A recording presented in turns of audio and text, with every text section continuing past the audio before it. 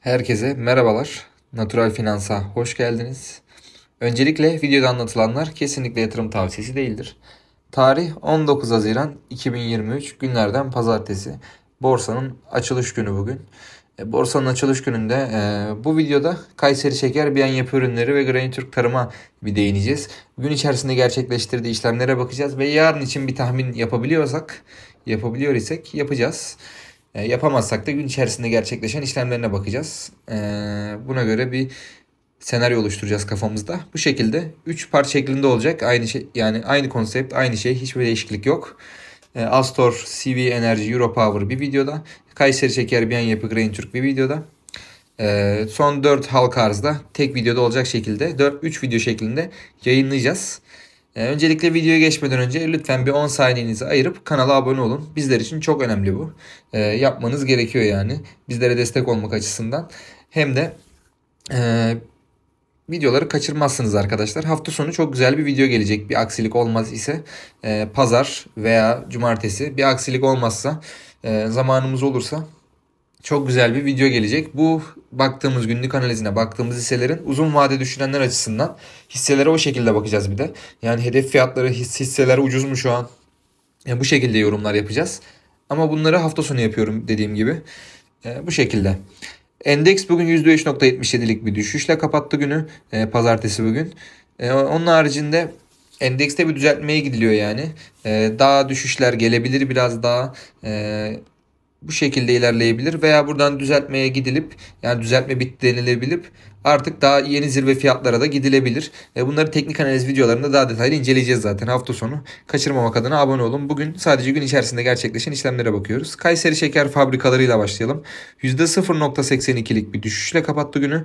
İşlem adedi olarak e, 13 milyon 922 binlik bir işlem adedi var bugün. Oldukça güzel pazartesi için ideal. Hacim kısmında ise 228 binlik bir hacim bulunuyor. Bu da fena değil. Bugün gördüğün yüksek fiyat 16.96. En düşük fiyat ise 16.01. En düşük fiyatından da kapattı zaten günü bugün. 16.01 ee, şeklinde şu anki fiyatı da e, yanılmıyor isem. Aynen. E, bugünkü fiyat da zaten bu şekilde. Hızlıca bir takas işlemlerine bakalım. Bir yorum yapmıyorum burada dediğim gibi. E, takaslar da bu şekilde. İlgilenenler varsa bakabilir arkadaşlar. Derinliğine bakalım. E, şimdi 92 bin satış tarafında 266 bin de alış tarafında bunlar bekleyen emirler. Yarın gerçekleşmesi için bekleyen emirler. Ee, benim görüşüme göre yarın belirli bir fiyatın altına düşmesi engellenebilir. Yani şu anki olduğu fiyatın yarın açısından konuşuyorum. Yarın açılış açısından daha doğrusu. Açıldığında, yani bu dediklerim geçerli. Açıldıktan yarım saat sonra bir saat sonra tamamen farklı senaryolar olabilir. Yarın açılış aşamasında e, pozitif yönlü ilerleyebilir bu şekilde düşünüyorum ben. Ee, onun haricinde başka diyebilecek bir şey yok ama farklı saatlerde değişebilir akşamüstü veya öğlen veya açılıştan bir saat sonra tamamen farklı şeyler düşünülebilir. Ee, kesinlikle yatırım tavsiyesi değildir. Aracı kurum dağılımına bakalım. Alanlarda 384 binle Deniz ilk sırada yer alıyor. Info ikinci sırada 270 bin. QNB Finans 269 bin. Ahlatçı 260 bin. E, A1 Kapital 109 bin. Global 98 bin. Tacirler 95 bin. Philip 88 bin. Midas 78 bin. Investas 67 bin. Alnus 60 bin. TEP 57 bin. AK 39 bin. ISPC Türkiye 36 bin. İş e, 35 bin. Brugan 32 bin şeklinde sıralanıyor. Bunlar alan tarafta arkadaşlar. Satanlara bakalım. E, Bank of America oldukça yüklü bir miktar satmış bugün. Yani neredeyse bu kadar alan bir kurum yok zaten bugün aynen. Hemen hemen alan kurumların ilk katı kadar satmış bugün. E, Bank of America satanlar da ilk sırada yer alıyor. 553 binlik bir satış gerçekleştirmiş bugün. E, Gedik ikinci sıra 289 binlik. Yatırım finansman 273 bin. Üçüncü sırada yer alıyor. 272 bin not ile. E, Garanti BBVA 216 bin. Gazirat 167 bin. Yapı Kredi 139 bin. Osmanlı 170, 71 bin. E, Sanko 63 bin, Vakıf 60 bin, Oyak 49 bin, ALB Yatırım 40 bin, Şeker, Meksa, Halk, Bizim, Türk İş şeklinde sıralanıyor arkadaşlar. Kayseri Şeker hakkında şimdilik söyleyeceklerimiz bu kadar. Dediğim gibi hafta sonu daha detaylı inceleyeceğiz. Teknik analiz kısmına bakacağız. E, daha çok uzun vade düşünenleri ilgilendiriyor. Kaçırmamak adına abone olun lütfen. Hem de bizlere destek olmuş olursunuz. E, bir an yapı ürünleriyle devam edelim. %1.68'lik bir düşüşle kapattı günü. E, işlem adedi olarak 8 milyon 412 binlik bir işlem adedi var. Yaklaşık değerler bunlar. Küsuratları söylemiyorum. Ee, bana biraz düşük geldi. Ee, yani Kayseri şekerden biraz daha fazla olmasını bekliyordum açıkçası. Hacim kısmında ise 358 binlik bir e, hacim bulunuyor. En yüksek fiyat 43.50 en düşük fiyatsa 42 lira şeklinde hemen hemen en düşük fiyatından kapattığını da söyleyebiliriz. Tam değil ama hemen hemen o fiyatlara yakın. Yani bir alt kademesi en düşük fiyatı yanılmıyorsam aynen o civarlarda. E, derinlik kısmına bakalım. Şimdi 153 bin alış tarafı 79 binde satış tarafında bekleyen emirler bunlar şu an. E, yarın e, belirli bir fiyatın altına düşmesi engellenebilir. E, emirler ona göre koyulmuş da olabilir. Ama şu anki olduğu fiyattan e, 9 bin alış emri var. Şu anki olduğu fiyattan 33 binde satış emri var. Yani açılış adına bir şey dememiz pek doğru olmaz ama açılışta sadece buradaki anlık olduğu fiyattan emirlere bakacak olursak böyle düşündüğümüzde de satış ağırlıklı yani negatif olacağı yönünde e, gözüküyor buradan yarın açılışta. Ama kesinlikle yatırım tavsiyesi değildir. Yani buradaki emirlere göre bir şeyler söylemeye çalışıyoruz biz arkadaşlar. Bu şekilde e, yatırım tavsiyesi değil yani. Ne olur ne olmaz belli olmaz açılışta farklı şeyler olabilir. E, Biyen yapı ürünleri aracı kurum dağılımıyla devam edelim. Info ilk sırada yer alıyor 463 binle. E, Garanti BBVA 265 binle ikinci sırada yer alıyor. Almus 128 bin. Tacirler 126 bin. Dördüncü sıra Global 85 bin. ALB yatırım 80 bin. Yapı kredi 43 bin. Oyak 24 bin. Investas, Halk, Midas, TEP, HSBC, Philip, Ahlatçı, ING şeklinde sıralanıyor arkadaşlar. E, satan kısma bakalım. İlk sırada yatırım finansman yer alıyor. 373 bin not ile e, birinci sırada yer alıyor. Bank of America ikinci sırada yer alıyor. Kayseri Şeker de bu birinci sıraydı. Bank of America yaklaşık 500 bin not satmışlardı. Ebiyen yapı ürünlerinin, ürünlerinde de bugün bir satış gerçekleştirmiş. 279 binlik bir satış var. İkinci sırada yer alıyor. Ziraat 197 bin. A1 Kapital 89 bin. QNB Finans 68 bin. İş 67 bin. Gedik 58 bin. Vakıf 44 bin. Şeker 36 bin. Ak, Triv, Osmanlı, bizim Dinamik, Deniz alternatif şeklinde sıralanıyor arkadaşlar. Takasları göstermedik yanılmıyorsam burada. Ben şurada hızlıca takasları da göstereyim sizlere. Takaslar da bu şekildeydi. Borsada genel anlamda bir düşüş var arkadaşlar baktığımızda yani. Endeks bugün sağlam çakıldı.